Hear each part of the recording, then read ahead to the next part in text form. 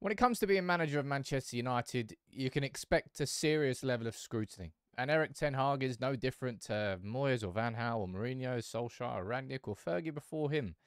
That's exactly what's happening now. An intense level of scrutiny is going to question every single decision that Ten Hag is making, even if they are the right ones. And in this video, I want to call out a few people because I think it needs to be said. I can see a narrative happening, not a, a trust me, I'm not putting Keane and Rio in the same bloody pool as Graeme Souness. Far from it. But I want to do this video to defend Erik Ten Hag because I think what he's doing is all with the best intentions in mind of Manchester United to take this club forward. That's why this video needs to be said. That's why I want to do it and I want you to share it because I think that we have to keep driving this support for Erik Ten Hag. Now let's go back to Fergie. Let me run through this video. Honestly, I think it's a 10 minutes well worth your watch. Please watch it. You'll remember this is the only thing I can I think that Fergie has said about Erik Ten Hag. And he was asked this back when he just uh, took over as manager. What about Eric? Is is Erik going to work the Oracle and turn the tide? Erik. Uh, oh, the, sorry, uh, the new manager. Well, I hope he does well because the club needs someone to get in control, you know, and I hope he does well, yeah. The club needs someone to get in control, was the only thing that Fergie said. And that's exactly what Erik Ten Hag has done. Remember from day one when he took his first press conference, you know what he did inside that inside that press conference? He walked around, took everyone by surprise, gave every single journalist in that front, maybe the whole thing, I think it was the front row, gave them all a handshake, introduced himself to the press, and set a tone with that. He took control of that whole press room by doing that, walking in and shaking everybody's hand. And it set the tone straight away.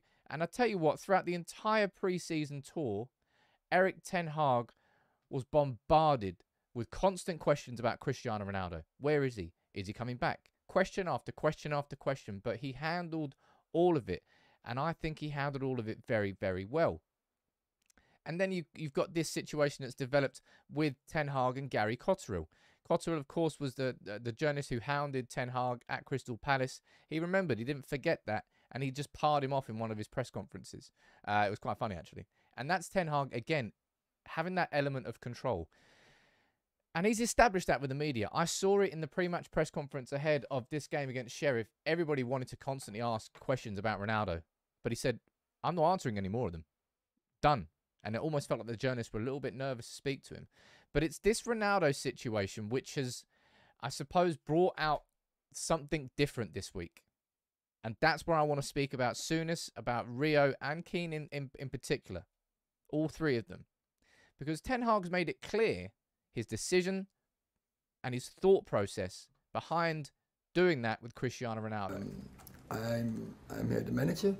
Uh, I'm responsible for the top sport culture here.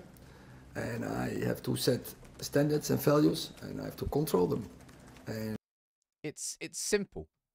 It's very, very simple. Erik Ten Hag is doing nothing but trying to set new standards at Manchester United, trying to drag the club away from this player power culture that's been a toxic dressing room influence for years and years and years and has brought a sense of entitlement to players that don't deserve that sense of entitlement. And that's come, of course, as a, a consequence of the wages and the Woodward structure and the failed Galactico era. And it's something that Ten Hag's trying to rid this dressing room of. And the Ronaldo situation, I'm not saying it's it. I'm not saying that Ronaldo is a toxic dressing room influence. That's not what I'm saying, far from it. But Erik Ten Hag had to exert that level of control to keep those standards. And this is exactly why he did what he did with Ronaldo. But the reaction to it has been so strange in the press. I wouldn't say it's been strange from Graeme Souness, a man who, let's remember, has been sacked from Sky Sports or is going to be sacked. He's been kicked off. He's irrelevant. He's just completely irrelevant. And he tried to say this after the Ten Hag situation. In five years' time, Ten Hag will be away from the club and nobody will talk about him and his spell at Manchester United ever again. But Ronaldo will always be remembered as arguably the greatest to have ever kicked a football. Graeme Souness, man, you're the only one who's going to be irrelevant here and the only one who's going to be forgotten in five years' time. Geez, any any young player, any young fan watching football now don't even know who you are. You, you haven't got Pogba to shout at anymore. Now just going to point the finger towards Ten Hag. There's a reason you've been let go of Sky Sports, and at some point you'll probably be kicked off Talk Sport too. Just trying to twist and just trying to turn the narrative and twist the knife away from the fact that it's Ten Hag trying to take control, and it's nah, Ten Hag, is just going to be irrelevant. You can see what they're doing in the media, and and this one, of all that I've I've I actually had to do a separate video on this, but Roy Keane's comments post Ronaldo almost blew me away. They took me by surprise so much because because it, he didn't just defend Ronaldo, like he staunchly defended him. He went in on him, saying, "Oh look, others have done worse. Ah, oh, he's, he's just a human. X, Y, Z." Ten Hag handled it exactly perfectly well, and this is coming from Roy Keane, the man who, of course, said this infamously about Manchester United's players. These are the same players that threw Mourinho under the bus, and they will do exactly the same to Ollie. Leopards don't change their spots. Leopards don't change it. Again, I'm not putting Ronaldo in this category, but it's the idea that that somehow Keane's disagreeing with what Ten Hag is doing. Ten Hag has already made it clear, abundantly clear here. We are in a team, we and in a team we have standards and we have values. He is the man who holds those values. And if Ten Hag didn't handle this Ronaldo situation in the way that he handled it, those same players that Roy Keane was talking about there, they would have emerged again because they would have been empowered to do what they wanted to do because Ten Hag would have lost control. And that's what's made it so weird and so strained and so odd with what Roy Keane has had to say. And I think the same thing, in my opinion, can be said about Rio Ferdinand and his reaction to it as well. He spoke on uh, on the Vibe with Five, and this is what he had to say. He said that Ten Hag, he could have prevented the Ronaldo tantrum. That's what he said. Let's read it through here. I'm not sitting here saying that Ronaldo was right to do that. His actions are wrong. But if you look at the bigger picture, this could be prevented. As a manager, that's your duty.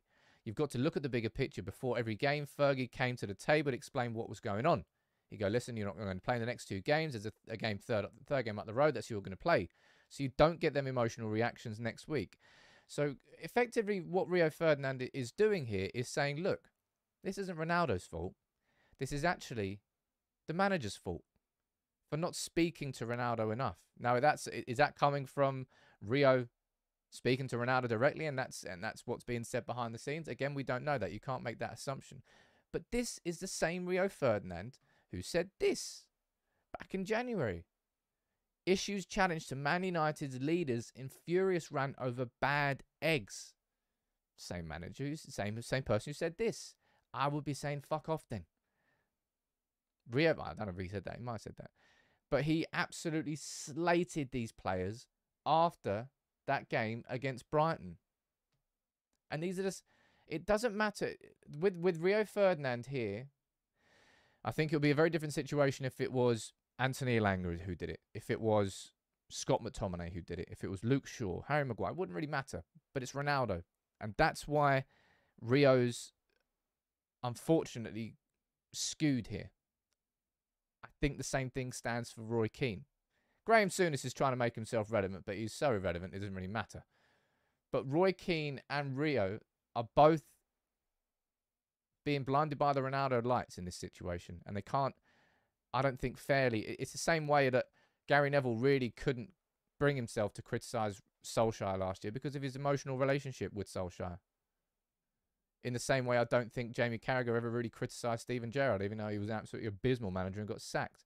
It's because they've got connections that are deeper than just what we have as fans. And it makes their opinion hard to listen to, if I'm being completely honest. And I think what Ten Hag has done so far, what Ten Hag is continuing to do so far, is is change that dressing room culture at Manchester United, and it is it's it's almost like the the opposite of the X Factor that you can't quite describe. It's just that that feeling. It's something in the air. It's something that's just lingered at Manchester United for so long. Now, the Ronaldo situation has brought it right back to the surface. Not because uh, Ronaldo is, is that toxic dressing room, but it's the idea of holding that control, that control that Fergie said was so important. And that's why I found it so strange to hear Keane and Rio not just come out in full support of Ten Hag, because they know what he's done is right. They've questioned the players before. So they have to have that same thought process to Ronaldo, but they haven't. It's been different. It's been, I honestly, I think it's been strange. It's been odd, and I wanted to do this video sort of in defense of Ten Hag. I think he's shown an element of control from the beginning with the media and carried it through. I think he controls press conferences now. He answers what he wants, how he wants, and the press can't really get anything from him. That's very Fergie esque. But I think that's just Ten Hag. He did the same thing at Ajax. And to see Rio effectively kind of pointing the finger in the other direction, saying, "Don't think it was Ronaldo. Maybe it might have been Ten Hag." Not even, and this is this is the Ten Hag, by the way, who has look at look. At, it's talking about communication skills being a problem for Ten Hag. Look how well drilled we are. Look how well coached we are. It's obvious that he's good at communicating his thoughts and his ideologies and his processes on the training ground. Otherwise, we wouldn't be playing as well as we are. And there's so many players who have come out, Dalot and Shaw and uh, other players who have said, yeah, it's very clear the direction that Ten Hag wants us to go in. So don't think communication is an issue with Ten Hag. It's just kind of like finding different different directions to point in instead of pointing at Ronaldo. And that's not what you need from your pundits. Certainly ex United players, and certainly when I think the decisions are being made that are correct for our football club. That's why I did this video in support of Ten Hag. I will continue to do it. And if he does stuff wrong, I will criticize Ten Hag. I won't, I, I'm not blinded by it. It's just frustrating me seeing all this this week. That's why I wanted to do this video. You can let me know what you think in the comments, as you always do.